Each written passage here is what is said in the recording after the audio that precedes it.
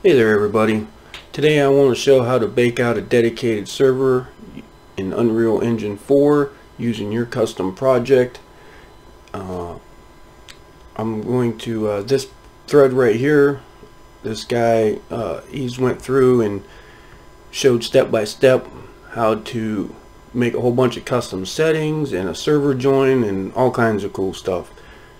So check him out here on the forums and this is what I've done so far with my project that I'm going to be baking into a dedicated server. Here's my two projects.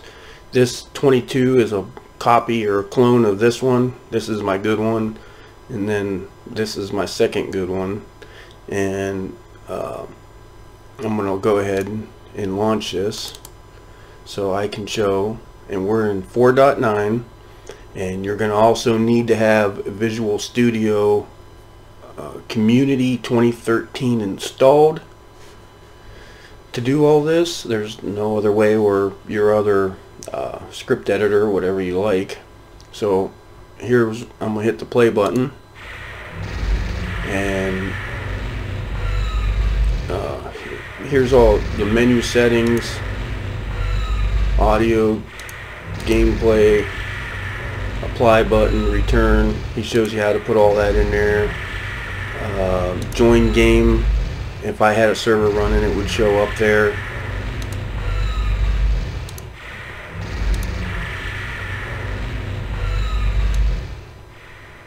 Turn the master volume down. And uh, you got your custom controls for different bindings which I'm not for sure why the right's like that. It should be D, but right there. Yep, so this is what you'll be doing, and then you can go to host game, and we can hit start hosting, and I have a generic map in here, and uh, just a generic character is nothing yet, but okay. So that's what we're going to be baking out today to show. It's not really a functioning game yet. So the first thing I want to show is right here okay this is our we're to pretend this is our good copy. We, we, and we're getting ready so maybe we want to check to make sure that everything's right and we don't screw up and uh, you know uh, make this version incompatible or something. So what I always do is I just right click on it go to clone. We're gonna name this one YouTube. Okay. Oops. Just no numbers, huh? YouTube tut. How's that? And then create. We'll get a warning. Just go ahead. Okay. And I give it a few seconds here. It's cloning right now and we can't refresh this any way that I know of other than shutting it off and then relaunching it. And this is not my game here. I don't know what this this I I have uh, DisplayFusion and it randomly selects Vietnam pictures. I don't know whose game that is or but anyhow um, once this reloads we'll go back here. Here is the clone we just made from our good copy. Double click this.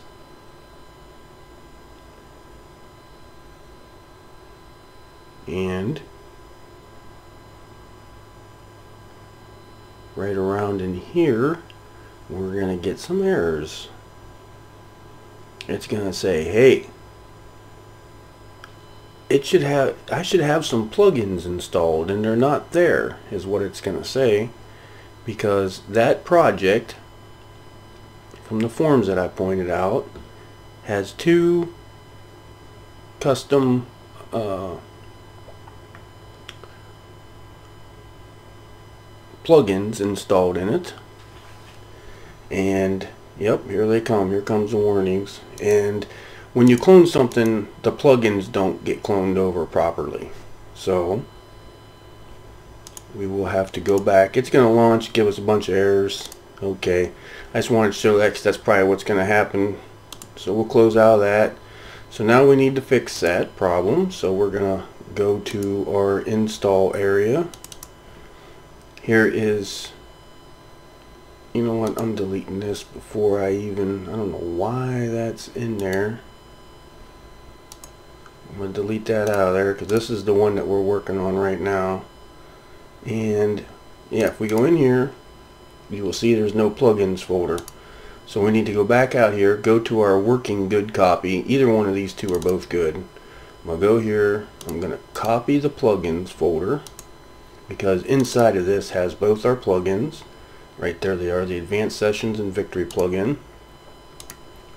So we're going to go back out. Here's our cloned one that we're working on. We're just going to paste that plugins folder right in here which is going to take a couple seconds or a couple minutes so I'm going to hit pause okay that's just about done copying over and there we go there's our plugins and our new. Now if we launch this, now here's something else too. I'm sure you guys know this, but if you double click right here, it will do the exact same thing as if we launched it from here. If we double click this or double click this, it does the same. So we will launch this and it should launch pretty fast with no errors. Okay. So now our clone is working with the plugins. And I can tell, I just have the, there's our audio again. Okay, so that's working. Cool. Next problem. You hit the compile button up here. It's going to be errors. Failed. Yep, errors. Hmm. So that's the next problem and to fix that it's as easy as going over here and we're going to add a blank C++ none next I'm going to name this delete later because that's what we're going to do we're going to delete it later create class and now this will dump in a whole bunch of new files and stuff that we need to compile. You can see down here it's starting to compile the code. So this takes a little while. I'll be right back. Alright, it just got done compiling and it launched Visual Studio, which is really cool. Which right now, and if you notice, since it launched Vis Visual Studio, now it's going to uh, build, compile, so we're going to as you can see down here so we're just going to let that finish out. So yeah I had to make a quick video to come back to something. I wanted to throw this in here in between videos real quick. And you guys we just for some of you you might have for the first time loaded up Visual Studio Studio ever and you're kind of lost and I'm gonna tell you you probably should go watch some videos on it to get familiar with it a little bit you don't have to because there ain't much to it, but right, you know, right off the bat, if you're a fresh install, you're gonna the environment's gonna look different. And I can't remember how I changed, you know, where all the stuff is right now, but uh, you know, like I got all these boxes across here, and um, I, I went into the custom controls and I made some of these boxes bigger so that they weren't hidden and everything.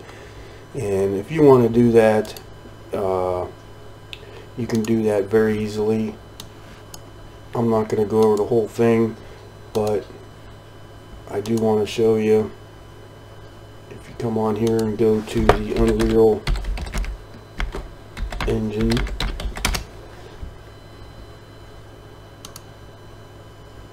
go to these guys here and search for GitHub.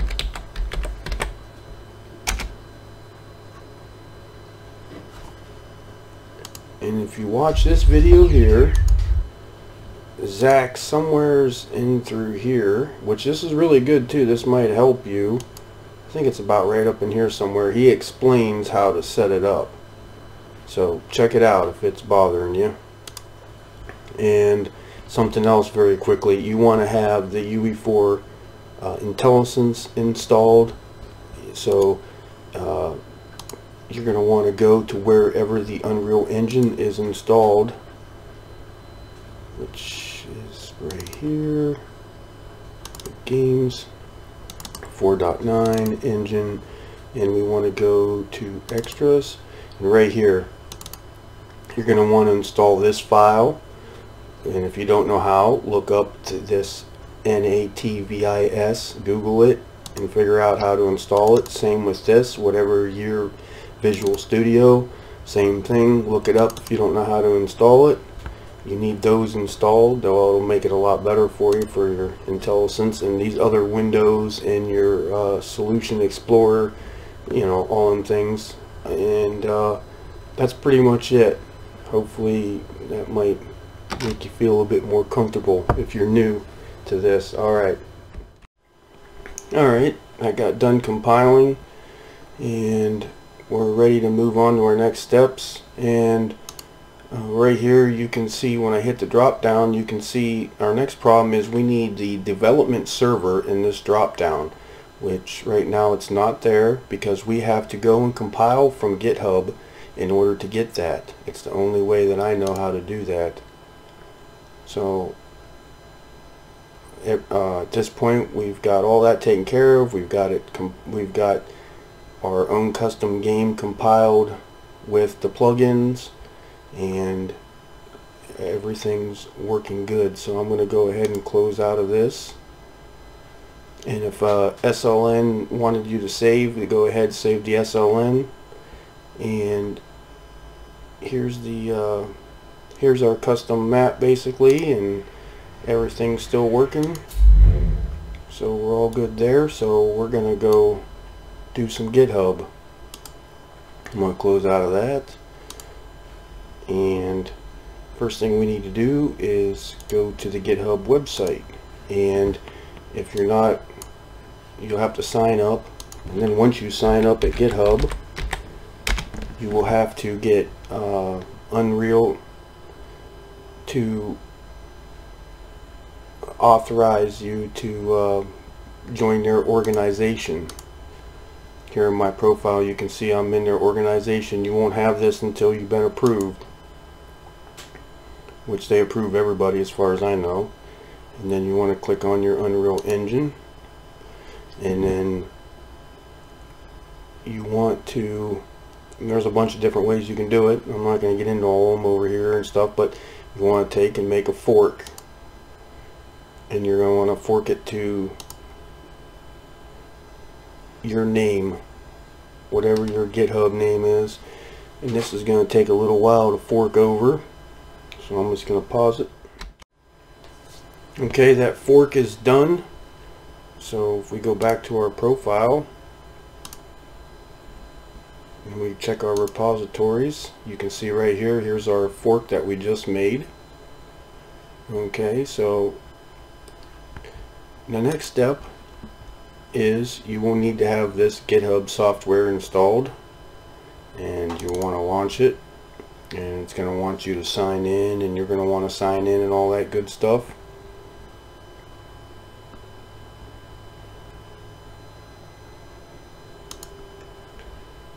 and first thing you'll want to make sure your settings are set up to where it's going to have a clone path make sure you know that. And we're going to go up here to clone and find what we just forked. Remember there that's where we forked it from and we forked it to our mountain to your username.